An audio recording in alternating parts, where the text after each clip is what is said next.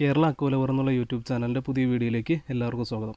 Guppy വളർത്തുന്ന ആളുകളെ സംബന്ധിച്ച് അവരുടെ ഏറ്റവും വലിയൊരു അസറ്റ് എന്ന് പറയുന്നത് നല്ല ബ്രൂട്ട് സ്റ്റോക്കാണ് അപ്പോൾ പല രീതിയിൽ ഗപ്പി വളർത്തുന്ന ആളുകളുണ്ട്. ഇപ്പോൾ ഉദാഹരണത്തിന് ഞാനൊരു പെയർ ഗപ്പി മേടിച്ചുകൊണ്ട് വന്നു അല്ലെങ്കിൽ ഒരു ട്രയോ മേടിച്ചുകൊണ്ട് വന്നു രണ്ട് ഫീമെയിൽ ഒരു മെയിൽ മേടിച്ചുകൊണ്ട് വന്നു. അതിൽ നിന്ന് ഇറങ്ങുന്ന കുഞ്ഞുങ്ങളെ ഓരോ ബാച്ച് ഓരോ ബാച്ചായിട്ട് സെയിൽ ചെയ്യുന്നു. അല്ലെങ്കിൽ ഇപ്പോൾ ഒരു പെയറിൽ നിന്ന് ആദ്യത്തെ ഒരു ബാച്ച് കിട്ടി ഒരു മുപ്പതോളം കുഞ്ഞുങ്ങളെ കിട്ടി അവർ വലുതായി ഞാൻ സെയിൽ ചെയ്യുന്നു. പിന്നീട് അടുത്ത ബാച്ചിൽ കുറച്ച് കുഞ്ഞുങ്ങൾ കിട്ടി. അപ്പോൾ അങ്ങനെ സെയിൽ ചെയ്യുന്ന ആളുകളുണ്ട്.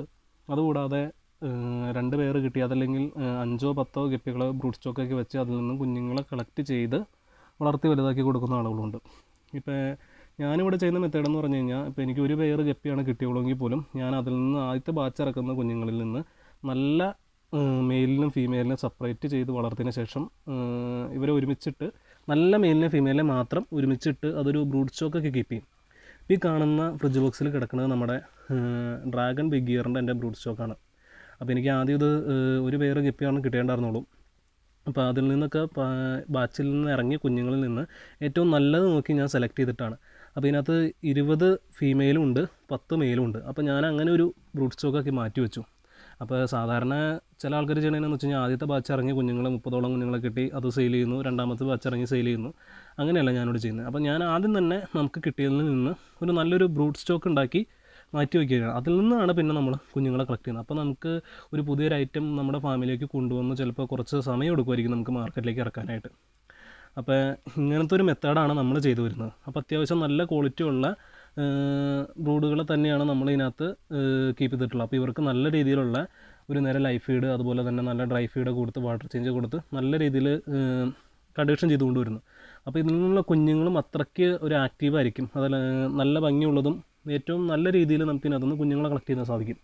അപ്പോൾ നമ്മുടെ ഡ്രാഗൺ ബിഗിയർ അത്യാവശ്യം നമ്മുടെ ഫാമിൽ നിന്ന് ഏറ്റവും കൂടുതൽ മൂവ്മെന്റ് ആവുന്ന ഒരു ഐറ്റമാണ് അപ്പോൾ ഞാൻ ഇത് തന്നെയാണ് അപ്പോൾ ഇപ്പോൾ കുറച്ച് കൂടുതലായിട്ട് നമ്മുടെ ഫാമിലി ചെയ്യണത് അപ്പോൾ ഈ ഫ്രിഡ്ജ് ബോക്സിലും ഇതിനകത്തും കുഞ്ഞുങ്ങൾ തന്നെയാണ്. അപ്പോൾ ഏകദേശം ഈ ഒരു വലുപ്പമായി കഴിയുമ്പോഴത്തേക്കും നമ്മൾ പടതാക്കുളങ്ങളിലേക്ക് ഇറക്കും.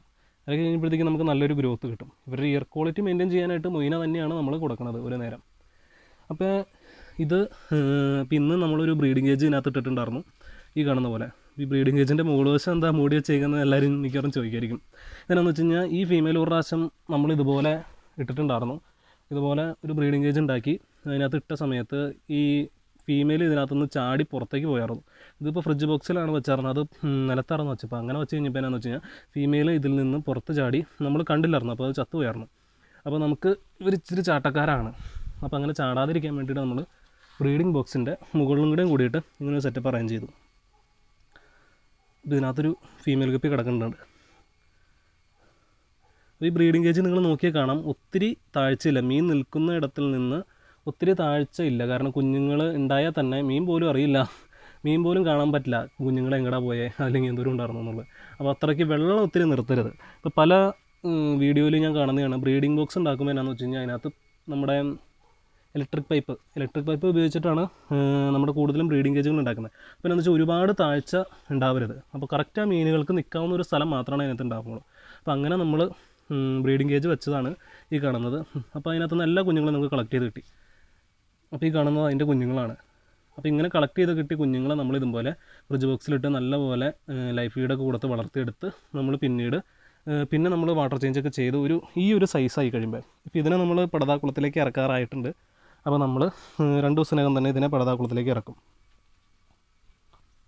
ഇപ്പോൾ ഈ സൈസിൽ കാണുന്ന ഫീമെയിലുകളിൽ നിന്ന് നമുക്ക് അമ്പതിൽ കുറയാത്ത കുഞ്ഞുങ്ങളെ നമുക്ക് ഓരോ ബ്രീഡിങ്ങിലും നമുക്ക് കിട്ടുന്നുണ്ട്.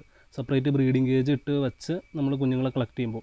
അപ്പോൾ ഇതിനകത്ത് നമ്മൾ ഇട്ടിട്ടുള്ള ഇരുപത് ഫീമെയിലും പത്ത് മെയിലുമാണ് അപ്പോൾ ഇരുപത് ഫീമെയിലിൽ നിന്ന് നമുക്ക് ഒരു മാസം നമ്മൾ കൃത്യമായിട്ട് സൂക്ഷിച്ചെടുക്കുകയാണെന്നുണ്ടെങ്കിൽ നമുക്ക് ആയിരത്തിലധികം കുഞ്ഞുങ്ങളെ നമുക്കൊരു മാസം കളക്ട് ചെയ്യാൻ പറ്റും. ഈ ആയിരത്തിലധികം കുഞ്ഞുങ്ങളെ നമുക്ക് പടതാക്കുളത്തിലിട്ട് വളർത്തി വലുതാക്കി എടുക്കുമ്പോൾ നമുക്ക് നമ്മുടെ ഫാമിലിക്ക് നല്ലൊരു ഇൻകം തന്നെ നമുക്ക് ജനറേറ്റ് ചെയ്യാൻ സാധിക്കും. അപ്പോൾ കാരണം എന്നാന്ന് വെച്ച് കഴിഞ്ഞാൽ ഇതിനകത്ത് ആദ്യത്തെ ബ്രീഡിങ്ങിലൊക്കെ നമുക്ക് കുറച്ച് കുഞ്ഞുങ്ങളാണ് ഒരു ഫീമെയിലിൽ നിന്ന് കിട്ടുള്ളൂ അപ്പോൾ രണ്ടും ഓരോ ബ്രീഡിങ് കഴിയും തോറും നമുക്ക് കിട്ടുന്ന കുഞ്ഞുങ്ങളുടെ എണ്ണം കൂടി കൂടി വരും. അപ്പോൾ ഈ ഒരു സൈസ് ഇതിൽ നിന്നൊരു അഞ്ചോ ആറോ ബ്രീഡിങ് കൂടെ കഴിഞ്ഞ് കഴിഞ്ഞാൽ തന്നെ ഇതിനകത്ത് നിന്നൊരു കുഞ്ഞുങ്ങളുടെ എണ്ണം കുറയും. അപ്പോഴത്തേക്ക് നമ്മൾ പുതിയൊരു റൂട്ട് സ്റ്റോക്ക് നമ്മൾ ഉണ്ടാക്കിയെടുക്കും. അപ്പോൾ അത്യാവശ്യം വലിപ്പമുള്ളൊരു ഫീമെയിൽ നമുക്ക് നല്ല രീതിയിലുള്ള കുഞ്ഞുങ്ങളെ കിട്ടും. അപ്പോൾ ഇവർക്ക് നല്ല രീതിയിലുള്ള ഫുഡ് വാട്ടർ ചേഞ്ച് അതുപോലുള്ള കാര്യങ്ങളൊക്കെ ചെയ്തു കൊടുക്കുമ്പോൾ നമുക്ക് കുഞ്ഞുങ്ങളെ ഈസി ആയിട്ട് കളക്ട് ചെയ്യാൻ പറ്റും. അതുപോലെ തന്നെ കുഞ്ഞുങ്ങളെ വളർത്തി നല്ലൊരു സൈസാക്കി മാർക്കറ്റിലേക്ക് എത്തിക്കാനും പറ്റും. അപ്പോൾ ഇതുപോലുള്ള കാര്യങ്ങളാണ് നമ്മുടെ ഫാമിൽ നമ്മൾ ചെയ്തുകൊണ്ട് വരുന്നത്. നമ്മൾ ഓരോ ഗപ്പിയുടെ കാര്യത്തിലും ഓരോ രീതിയിലാണ് നമ്മളെ കുഞ്ഞുങ്ങളെ കളക്ട് ചെയ്യുന്നതും മാറ്റിയിടുന്നതും അതുപോലുള്ള കാര്യങ്ങളൊക്കെ ചെയ്യുന്നത്. അപ്പോൾ ഇപ്പോൾ ഈ ഡ്രാഗന്റെ കാര്യത്തിലും പറഞ്ഞു ഇതുപോലുള്ളൊരു മുകളിലൊരു ഒരു അടപ്പ് പോലെ നമ്മൾ ചെയ്തെന്താണെന്ന് വെച്ച് കഴിഞ്ഞാൽ ഇവർ ചാടി പുറത്തേക്ക് പോകുന്ന ഒന്ന് രണ്ട് പ്രാവശ്യം ഇങ്ങനെ ചാടുകയും ചെയ്തു. പ്രാവശ്യം നമുക്ക് ചത്ത് പോവുകയും ചെയ്തു. അപ്പോൾ അങ്ങനെ ഒരു പ്രശ്നം ഉള്ളതുകൊണ്ടാണ് നമ്മൾ ഈ ബ്രീഡിംഗ് കേജ് ഇതിന് വേണ്ടിയിട്ട് യൂസ് ചെയ്തേക്കുന്നത് ബ്രീഡിംഗ് കേജിന്റെ മുകളിലുള്ളൊരു ഇങ്ങനൊരു അടപ്പ് നമ്മൾ യൂസ് ചെയ്തേക്കണം അപ്പോൾ ഇത് തുറന്ന് നമ്മൾ ഫീഡ് ഇട്ട് കൊടുക്കും. അതുപോലെ തന്നെ നമ്മൾ ഇതിനകത്തുനിന്ന് കുഞ്ഞുങ്ങളുണ്ടായി കഴിഞ്ഞ ശേഷം മാറ്റിയിടുകയും ചെയ്യും. അപ്പോൾ ഇതിനു മുമ്പ് ഉണ്ടായ കുഞ്ഞുങ്ങളാണ് ഈ കിടക്കുന്നത്. അപ്പോൾ നമ്മൾ ഇങ്ങനെ ഇത് എപ്പോഴും നമ്മൾ ചെയ്തുകൊണ്ടിരിക്കുക. അപ്പോൾ ഡെയിലി ഒരു മൂന്നും മീനുകളെ തന്നെ നമുക്ക് ഇതുപോലെ ഒരു പാത്രത്തിൽ കിടക്കുന്നുണ്ടാവും അപ്പോൾ ഏതെങ്കിലും ഒരു രണ്ടോ മൂന്നോ ഫീമെയിൽ പ്രഗ്നന്റ് ആയതുണ്ടാവും. അതുപോലെ നമ്മൾ മാറ്റിയിടും. അപ്പോഴത്തേക്കും നമുക്ക് കുറച്ച് നാൾ കഴിയുമ്പോഴത്തേക്കും അത് വീണ്ടും നമുക്ക് കുഞ്ഞുങ്ങളെ കിട്ടാറാവും. അപ്പോൾ ഇത് എപ്പോഴും ഒരു സർക്കിളായിട്ട് നടന്നുകൊണ്ടിരിക്കുകയാണ്. അപ്പോൾ നമ്മൾ ഇതിനകത്തുള്ള കുഞ്ഞുങ്ങളെ മൊത്തം ഈ ഫ്രിഡ്ജ് ബോക്സിലുള്ള കുഞ്ഞുങ്ങളെ നമ്മൾ പടതാക്കുളത്തിലേക്ക് ഇറക്കുന്നു. അപ്പോഴത്തേക്കും നമുക്ക് ഇതിനകത്തൊക്കെ കുഞ്ഞുങ്ങളാവുന്നു. അപ്പോൾ ഈ കുഞ്ഞുങ്ങളെ നമ്മൾ ഈ ഫ്രിഡ്ജ് ബോക്സിൽ ഇടുന്നു. അപ്പോഴത്തേക്കും ഇതൊരു സൈസ് ആവുന്നു. അപ്പോൾ നമ്മൾ ഇതും വീണ്ടും പടതാക്കുളത്തിലേക്ക് ഇറങ്ങുന്നു അങ്ങനെ ഇതൊരു റൊട്ടേഷൻ സിസ്റ്റമായിട്ട് നമ്മുടെ ഫാമിൽ ചെയ്തുകൊണ്ടിരിക്കുകയാണ്. അപ്പോൾ നമുക്ക് വ്യക്തമായിട്ടൊരു പ്ലാൻ ഉണ്ടെങ്കിൽ മാത്രമാണ് നമുക്ക് ഒരു മന്ത്ലി ഇത്ര കുഞ്ഞുങ്ങളെ അല്ലെങ്കിൽ ഇത്ര കെപ്പികളെ നമുക്ക് ഉൽപ്പാദിപ്പിച്ചെടുക്കാൻ സാധിക്കുമെന്ന് നമുക്ക് ചെയ്യാൻ പറ്റുള്ളൂ. അപ്പോൾ നിങ്ങൾ തന്നെ ചെയ്ത് നോക്കുക. അല്ലെങ്കിൽ ഇങ്ങനെ പ്ലാൻ ചെയ്യുക. ഇത്ര കുഞ്ഞുങ്ങളെ നമുക്കൊരു മാസം ഉൽപ്പാദിപ്പിച്ചെടുക്കണം. അല്ലെങ്കിൽ മാർക്കറ്റിലേക്ക് ഇറക്കാൻ സാധിക്കണം.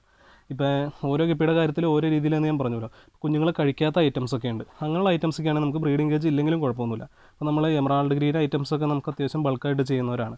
അപ്പോൾ എന്നാന്ന് വെച്ച് കഴിഞ്ഞാൽ ഒരുപാട് അത് ഞാൻ കാണിച്ചു തരാം. വേറൊരു പോണ്ടിനകത്താണ്. ഈ കാണുന്ന കുളത്തിൽ എമറാൾഡ് കിടക്കുന്നുണ്ട്. അപ്പോൾ ഇതിനകത്തുനിന്ന് നമുക്ക് ഇത് നല്ല ക്വാളിറ്റിയുള്ള ഐറ്റംസ് ആയതുകൊണ്ട് നമുക്ക് ഇതിനകത്തു നിന്നുള്ള കുഞ്ഞുങ്ങൾക്ക് അതേ ഒരു ക്വാളിറ്റി തന്നെ ഉണ്ടാവും. അപ്പോൾ ഇതിൽ നിന്നിറങ്ങുന്ന തീരെ ചെറിയ കുഞ്ഞുങ്ങളുണ്ട്. അപ്പോൾ അവരെ നമ്മൾ ഡയറക്റ്റ് വേറൊരു കുളത്തിലേക്ക് നമ്മൾ ഇടുവാണ്. ഈ എമറാൾഡ് ഗ്രീന്റെയൊക്കെ ഒരു പ്രത്യേകത എന്താണെന്ന് വെച്ച് കഴിഞ്ഞാൽ അതിൽ നിന്നും വേറൊരു ഔട്ട് ഇറങ്ങില്ല.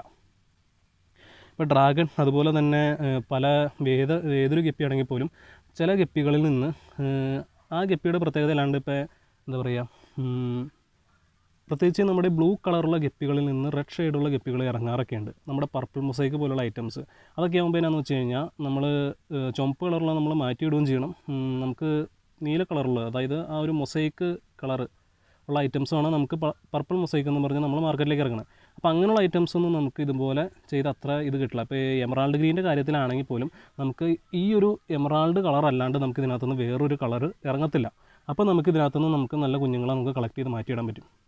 അപ്പോൾ ഈ ഒരു ഗപ്പിയുടെ കാര്യത്തിൽ നമ്മൾ ഇങ്ങനെ ഒരു മെത്തേഡാണ് ഫോളോ ചെയ്യുന്നത്. ഇപ്പോൾ നമ്മൾ ഡ്രാഗന്റെ കാര്യത്തിൽ നമ്മൾ പറഞ്ഞു. ഡ്രാഗൺ അത്യാവശ്യം നല്ല രീതിയിൽ കുഞ്ഞുങ്ങളെ കഴിക്കുന്ന ഒരു ഐറ്റമാണ് അപ്പോൾ അങ്ങനെ ഒരു ഐറ്റം ആയതുകൊണ്ട് നമ്മൾ സെപ്പറേറ്റ് ബ്രീഡിംഗ് ഏജ് ചെയ്തെടുക്കുന്നു. ഇതിനകത്ത് നമുക്ക് അങ്ങനെ ബ്രീഡിംഗ് ഏജിന്റെ വലിയ ആവശ്യം വരുന്നില്ല. നമ്മൾ കുഞ്ഞുങ്ങളെ നമുക്ക് അതിനകത്ത് ആവശ്യം പോലെ നമുക്ക് ഇതിനകത്തുനിന്ന് കളക്ട് ചെയ്യാൻ കിട്ടാറുണ്ട്. നമ്മൾ കളക്ട് ചെയ്ത് വേറെ പോണ്ടിലേക്ക് ഇറക്കാറുമുണ്ട്. ഇത് നമ്മുടെ ജെറ്റ് ബ്ലാക്ക് ഒരു ഫീമെയിൽ നമ്മൾ മാറ്റിയിട്ടേക്കണയാണ്. അപ്പോൾ ജെറ്റ് ബ്ലാക്കിലൊക്കെ എന്ന് പറഞ്ഞാൽ നമുക്കൊരു നൂറിലധികം കുഞ്ഞുങ്ങളെയൊക്കെ നമുക്കൊരു ഒറ്റ ബ്രീഡിങ്ങിൽ കിട്ടാറുണ്ട്. അപ്പോൾ നമ്മൾ ഇതുപോലൊരു സിസ്റ്റം നമ്മൾ ചെയ്യാൻ നേരത്തെ ഇതിപ്പോൾ ഒരു ഔട്ട്ഡോർ ആയതുകൊണ്ട് കൊക്കിന്റെ ശല്യമൊക്കെ ഉണ്ട്. അപ്പോൾ നമ്മൾ ഇങ്ങനെ ഇടാൻ നേരത്തെ നമുക്ക് കൊക്കിനോ വേറെ ഒരു ജീവിനോ നമുക്ക് പേടിക്കേണ്ട കാര്യമില്ല. കാരണം സേഫാണ്. കുഞ്ഞുങ്ങളെ എന്തായാലും കൊക്ക് കുത്തി കൊണ്ടുപോകില്ല അപ്പോൾ ഈ ഫീമെയിലൊക്കെ നമ്മൾ ഇങ്ങനെ നല്ല രീതിയിൽ ബ്രീഡിംഗ് ഒക്കെ ചെയ്തിടുമ്പോൾ നമുക്ക് നല്ല എഫക്റ്റീവായിട്ട് കുഞ്ഞുങ്ങളെ കളക്ട് ചെയ്തെടുക്കുകയും ചെയ്യാം. കാര്യങ്ങൾ റെഡിയാക്കി എടുക്കുകയും ചെയ്യും. ഇത് നമ്മളെ ജെറ്റ് ബ്ലാക്കിന്റെ ബ്രൂട്ട് സ്റ്റോക്കാണ് അപ്പോൾ ഇങ്ങനെയുള്ള കാര്യങ്ങളാണ് നമ്മുടെ ഫാമിലി നമ്മൾ ചെയ്തുകൊണ്ട് വരുന്ന കാര്യങ്ങൾ അപ്പോൾ വീഡിയോ ഇഷ്ടപ്പെട്ട എല്ലാവരും ലൈക്ക് ചെയ്യുക. അടുത്ത വീഡിയോ ആയിട്ട് നമ്മൾ എന്തായാലും അടുത്ത ദിവസം വരുന്നതായിരിക്കും.